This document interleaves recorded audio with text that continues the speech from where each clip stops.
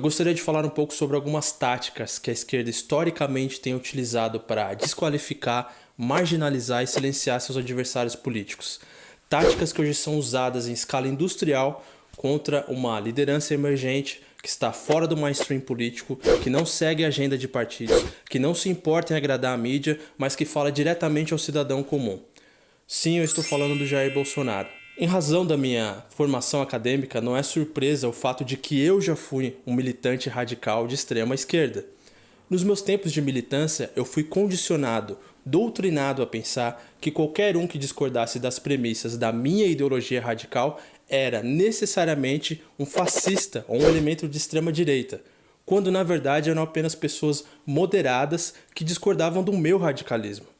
Parece absurdo e é absurdo, mas é assim que age e pensa um esquerdista, demonizando, desqualificando e marginalizando qualquer um que discorde da sua ideologia radical. Rotular é uma tática simples, mas muito poderosa, porque ela encerra o debate de ideias e transforma a disputa política numa grande briga de rua. E na briga de rua, a esquerda tende a levar a melhor, porque ela tem os recursos e a estrutura para bancar um monte de cães de briga. Quando eu era de esquerda, eu encarava Jair Bolsonaro como uma espécie de nazista enrustido ignorando o fato de que ele é um dos parlamentares brasileiros mais ligados à defesa do Estado de Israel. É esse o resultado perverso da tática suja de rotulagem da esquerda. O jogo da esquerda é simples, eles vivem nos atacando e nos demonizando, e ao mesmo tempo eles choram, esperneiam e se vitimizam com a enorme ajuda da mídia. Os esquerdistas exigem respeito enquanto nos chamam de fascistas e nos tratam como um câncer a ser extirpado. Mesmo nas universidades, espaços que deveriam privilegiar o debate, é assim que eles reagem diante do contraditório.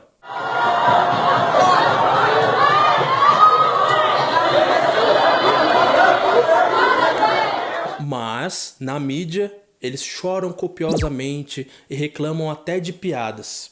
É precisamente esse o motivo pelo qual a mídia e a esquerda odeiam tanto Jair Bolsonaro. Ele não joga pelas regras deles, ele não se deixa pautar pela mídia ou pelos chorões de esquerda. Os esquerdistas exigem respeito ilimitado enquanto profanam imagens religiosas, promovem o ódio e a violência contra aqueles que discordam deles.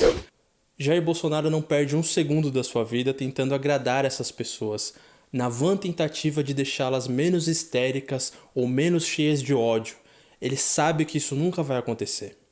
É essa a grande lição de David Horowitz, um dos fundadores da nova esquerda nos Estados Unidos, que depois abandonou o esquerdismo e nos trouxe lições essenciais sobre o modus operandi da esquerda. Em A Arte da Guerra Política, David Horowitz ensina que um dos maiores erros dos conservadores e liberais é tratar a disputa política com a esquerda como um debate civilizado entre cavalheiros.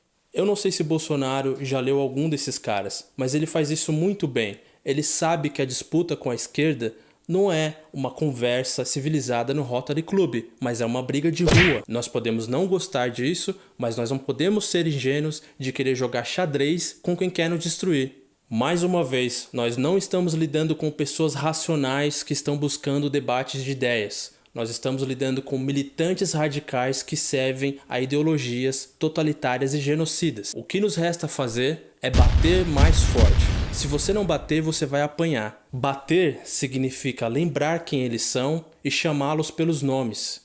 Bater significa dizer que os esquerdistas são militantes radicais, são extremistas que servem a ideologias genocidas, que eles querem impor as suas ideias pela força e pela violência. Historicamente, sempre foi assim.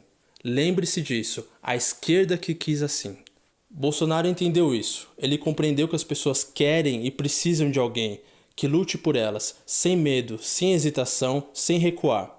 Ele pratica a guerra política com méritos, e é por isso que a mídia, os intelectuais e os artistas odeiam tanto Jair Bolsonaro.